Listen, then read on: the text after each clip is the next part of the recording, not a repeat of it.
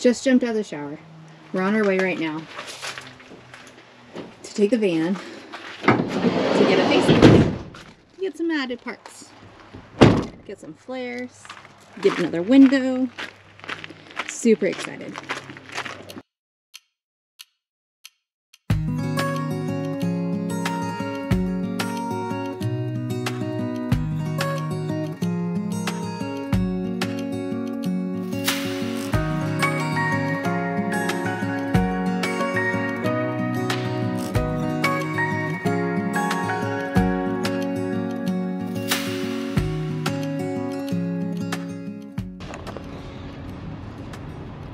Four minutes till destination. Thank you for riding with the Nivals.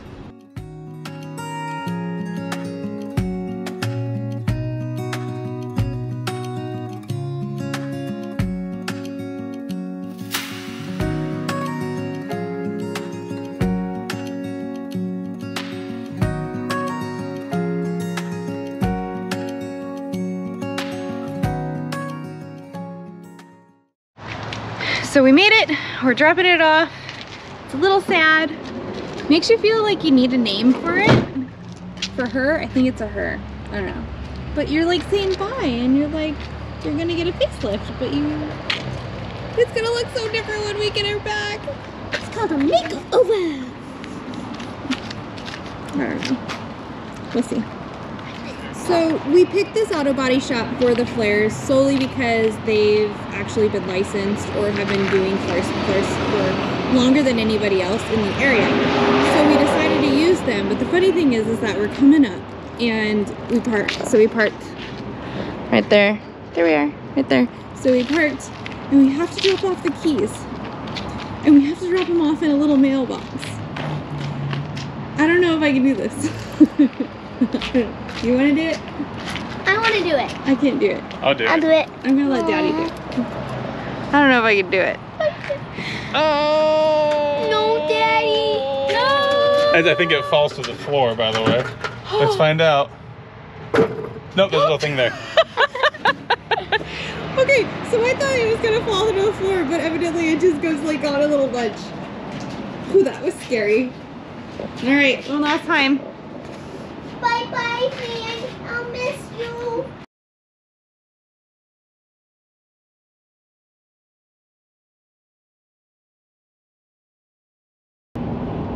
So we're not gonna have the van for a week, as you guys saw, dropping it off and everything like that. But we're not gonna have it for a week, so we gotta fill our time. But it's no problem. It's Saturday for us right now, Saturday morning.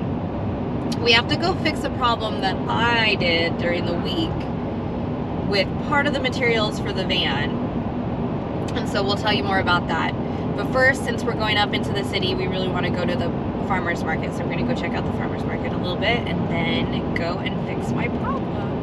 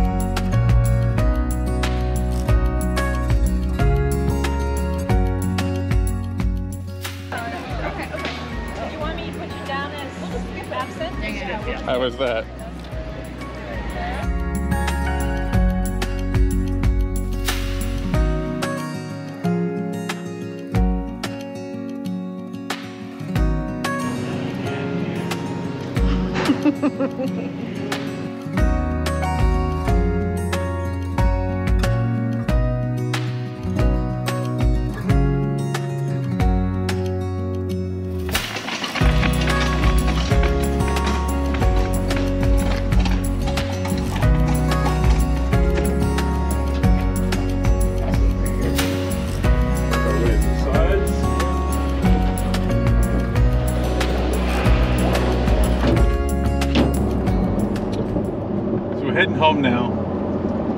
So we had to head basically all the way back into Portland, which is over an hour away from where we live, uh, to correct a mistake that Kirsten made, that she mentioned. Now, to be fair, it wasn't completely her fault. Sent her on a mission to pick up some Baltic birch plywood, which we were going to be using for the floor and walls in the van build. Uh, and one of the gentlemen, who was actually very helpful at Woodcrafters, the place we purchased the wood, also uh, mentioned to us about white birch, which has a lot of similar properties to Baltic birch, but is cheaper. Um, and that's what Kirsten brought home. And we contemplated staying with that and using it, but um, we ultimately decided that no, we wanted to go back to the Baltic birch. That's what is kind of the uh, tried and true method from most people we've uh, you know read blogs about, watched videos on for van building. So we went all the way back up, able to return what we had, purchase new. Um, the biggest difference is, is the Baltic birch, like on our half inch sheets of plywood, have seven plies, and the white birch only had five. Um, that little bit of a difference really adds a lot more integrity to the wood. Uh, like the screw grip strength for, for putting screws in it is significantly better. So we picked up um, the right wood. Uh, it came in at a higher price tag, obviously. But I think it's going to be the best option. Thousands of tears later.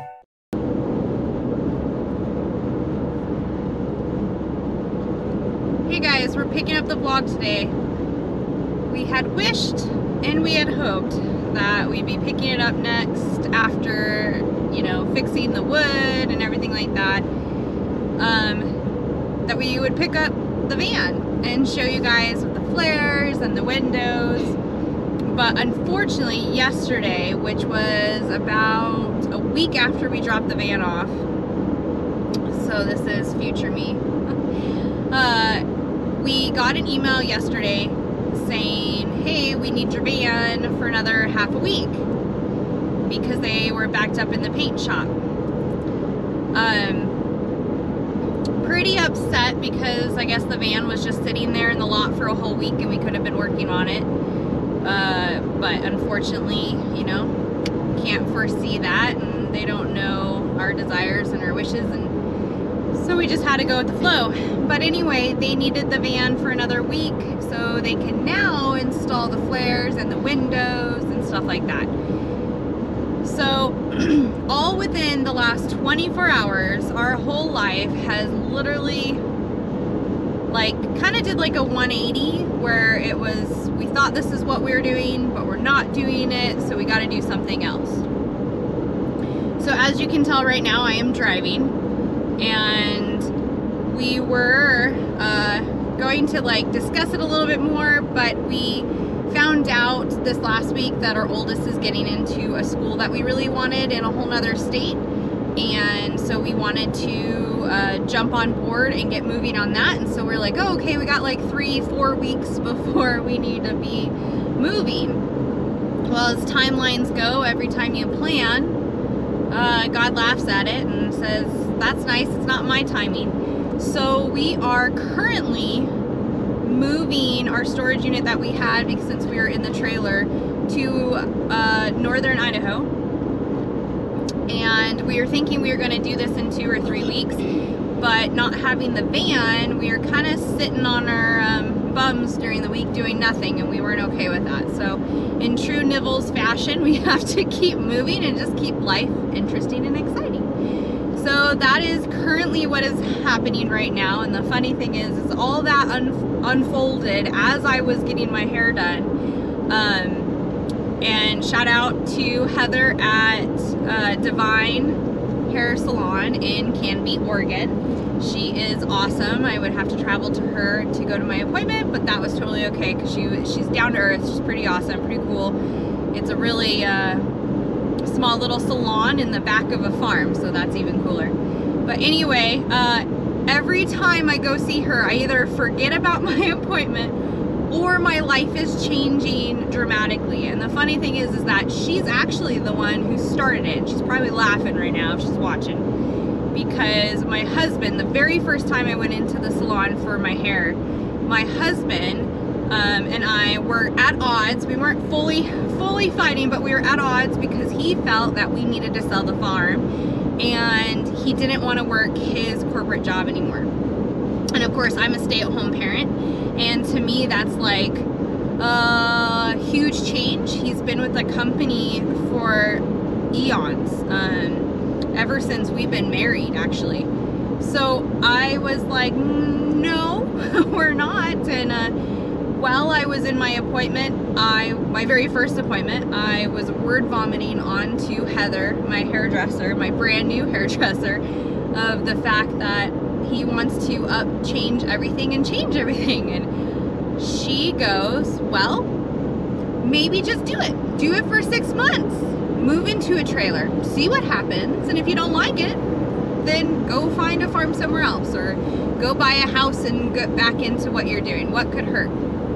It's only money and you don't want to waste your time. So I go out to the car and I look at my husband I was like, okay, you want to do it? Let's do it. And he had an interview with a new job and he got that job, only one interview and got that job. And I was like, all right, let's move in that direction. And that's what we've been doing. And so ever since then, every single time I go into my appointment, I'm like something's happening in my life. And she started it all with that first appointment. And it's like, oh, we found a trailer, we're moving into it. Oh, I'm I'm uh, moving the trailer onto another farm. I am currently building a van. And then I go in this time and I'm like, Heather, it's the last time I'm gonna see you. I am moving to Idaho.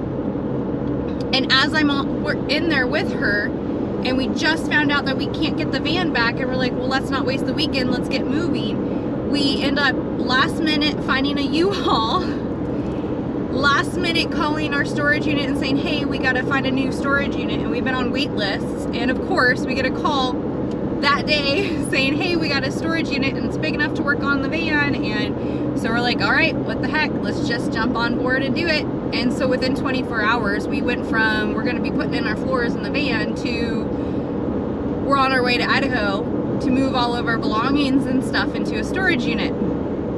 So that's how it's playing out and I'm excited and to tell you the truth, Lucas and I are just like this power couple that we really solve problems really well and honey, when you watch this, um, I just want to tell you, I love you, I appreciate you, and I'm so thankful that you actually are listening to where God is taking us and that you're leading our family in the direction that you feel called for. And here's to new adventures. And so far, everything's been playing out, and I just love you. And let's do this, and we got this, as Heather says. You got this. You got this. So, yeah, one, one blessing after another keeps on rolling in. You know, we might get hit with something hard, but then, you know, one hard thing, and we get two or three blessings right behind it. So, we're just very grateful for that. So, show you as we move along this little quick journey probably won't be shown a whole lot. You know, we uh, moved all of our stuff out of that one storage unit and now we're moving into the new storage unit. So we'll go from there.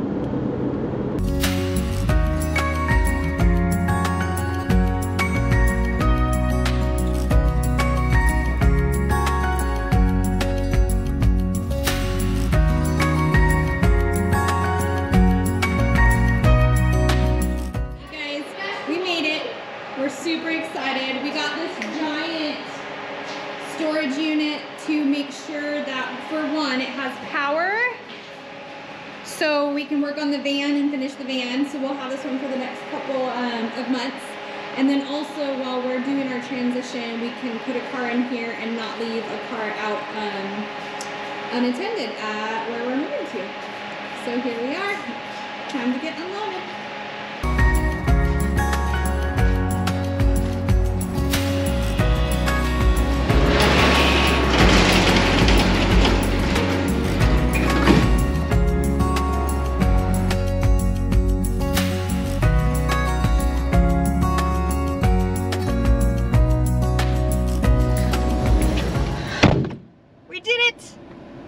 We rented a U-Haul Friday. Picked it up Friday. We loaded it Friday. We drove it all the way to Coeur d'Alene, Idaho, North Idaho. Unloaded it, and then came back on Sunday. And now we're back, and we had to have it back before 4:30.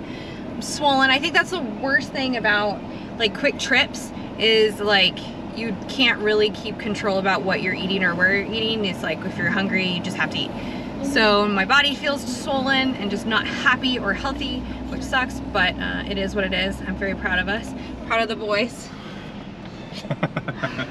I mean, I they were lucky because they got screen time, which they hardly ever get screen, screen time during the week or when we're not on road trips. But today, or this weekend, it was like, you know, you gotta do what you gotta do. And we all powered through it and we got it done and we made it.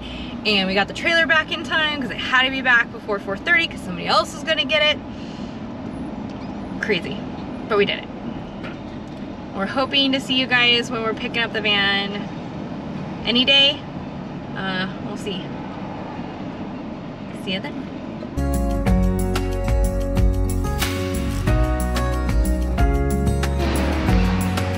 How sweet that thing looks. Keep going.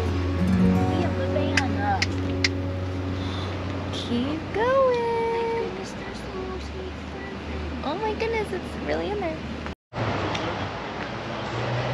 Today's the day. Two weeks and counting. She's back.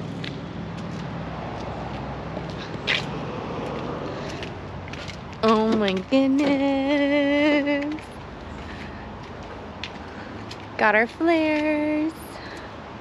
Can you open the door?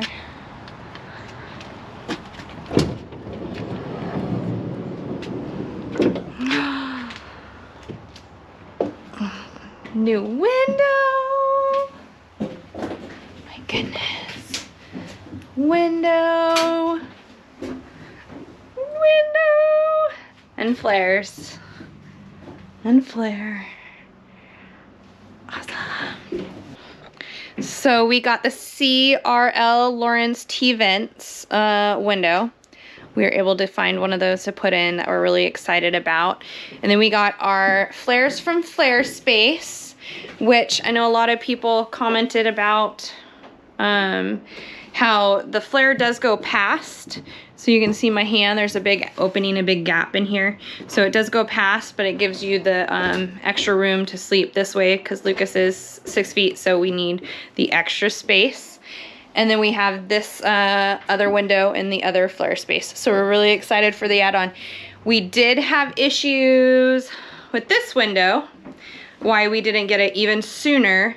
Um, so first we got delayed because of the paint in the shop, which was a little frustrating because we could have had it while they were even waiting to get painted. And then they um, call us the day that they're supposed to have it done again and said that this window wasn't fitting into the flare because there was um, a gap. And so Flarespace sent out um, an adapter for the window for the flare. Um, which so you can see this is our first time seeing it too it's wood i do have some pictures i'll post in um, that shows the gap and Flarespace was aware but our guy even said that the piece that they sent still was having issues on it. And so he was definitely going to call them and talk to them about that. Um, so that was a bummer but we got it fixed. We have our van today. Um, and then this window obviously had everything was fine on this one. So we're really stoked. All right, so we're going to close this one out. Um, maybe short video, but essentially it was a few, couple weeks on our end, simply with dealing with trying to get these flares installed. I'm happy that we went with someone who has a long history installing these flares um, for us locally. They're one of the companies who originally did these local. Right, when we were looking, like it was like last year we were looking at the flares and where who puts them in and all that information about it and they are the only body shop in our area that did them now there's like 20 of them so but we stuck with them in sandy Yeah, so glad for that. Um, you know, I've seen a lot of guys do it themselves. We definitely could have tackled that. Uh, but on these ones, I felt more comfortable having someone else do them for us. And obviously, then that hiccup with the uh, Arctic Tern window not properly fitting the cutout and some issues. So I'm sure that would have really made me more frustrated than it already did. But we are happy it's done. It looks good. The paint job looks great. Yeah, it does. So, um, but now we get the van back, which means we can get onto the next few phases, and we got a lot to get cranking on real soon. So. We're gonna wrap it up now. We're both starving. Get some food. We'll see you soon. What do you think? Floors next? Floors next. See you with Floors.